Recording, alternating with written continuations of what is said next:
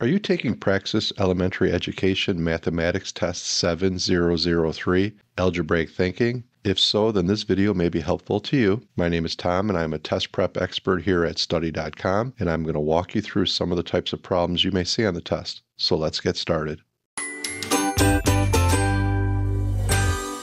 What is the result of adding the linear algebraic expressions 3x plus 4 and 5x minus 7?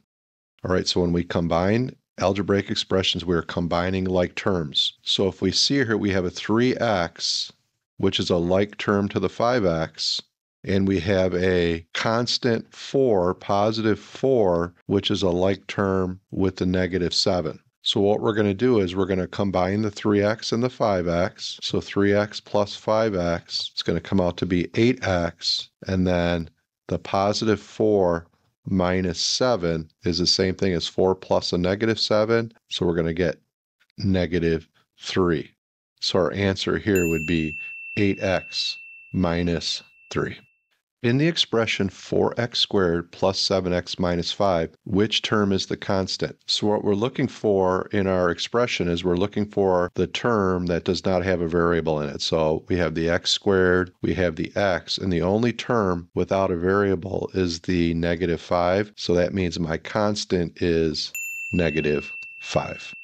Given the function table below, what is the rule that defines the relationship between the input x and the output y? All right, so we have our table here and we have four choices, y equals x plus 2, y equals 2x plus 1, y equals 3x, and y equals x squared plus 1. So what we're doing is we're looking at the relationship between x and y. So in this case here, we can see that the relationship is that we have to multiply the input by 3 and we would get our output. So for example, 1 times 3 is 3, 2 times 3 is 6, 3 times 3 is 9, 4 times 3 is 12. So the other choices on here, we can easily test to see that those are not correct because if we plug in 1 into this first choice, x plus 2, we would get 3, but if we plug it into the second choice, where x equals 2, we would get 4 and not 6.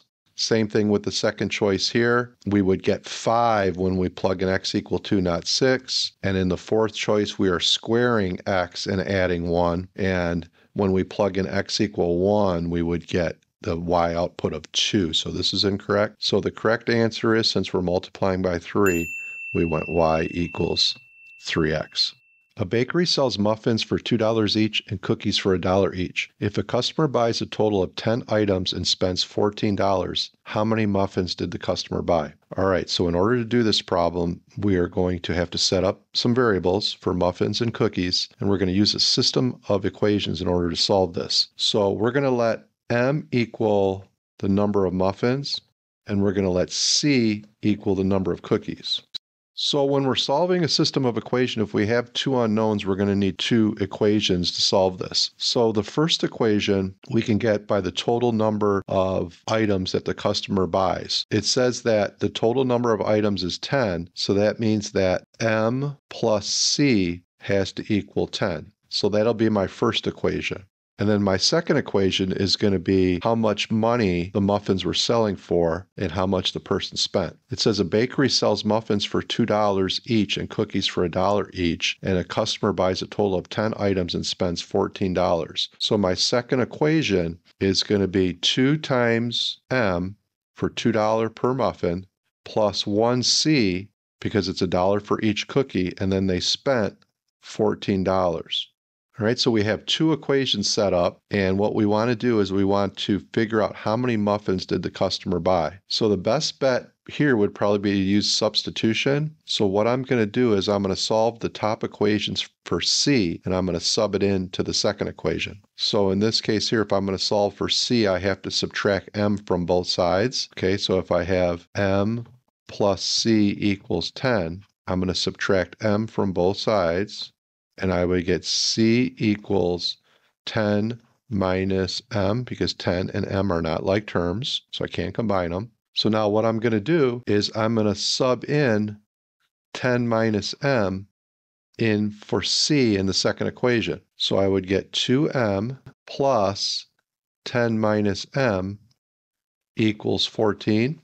And then to solve this, I'm going to combine my like terms. So I have 2m minus m, so that's going to be 1m plus 10 equals 14. So to get m by itself, I'm going to have to subtract 10 from both sides, and I would get m equals 4 muffins. That concludes our video. Praxis Elementary Education Mathematics Test 7003 Algebraic Thinking. If you found this video helpful, please like and subscribe to our channel, and don't forget to visit study.com for more practice problems like this and access to personalized learning plans. Thanks for watching.